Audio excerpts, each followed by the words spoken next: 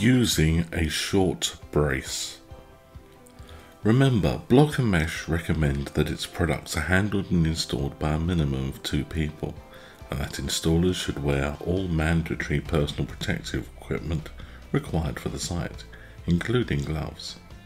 For information about setting up basic mesh fencing and using blocks and couplers, see video number one in this series.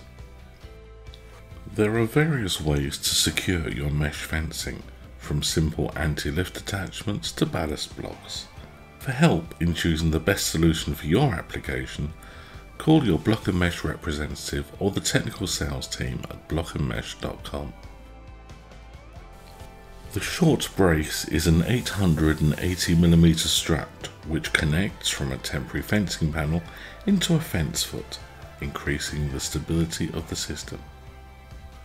To install, insert the short brace through the rectangular hole as shown. Remember to remove nut and plate from the bottom coupler and pass through the short mesh brace as shown. Various ballast blocks can be used including 20 kilo solo blocks as shown or the 50 kilogram brace block.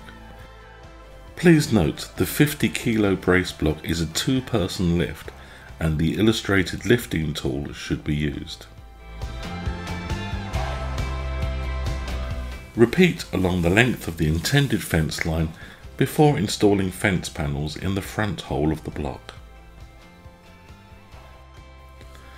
Block Mesh is a market leading manufacturer, supplier and installer of temporary fencing, site hoarding and barriers. For further information or to see the full range of bracing options, including new options which will be available in late 2022, go to bloknmesh.com.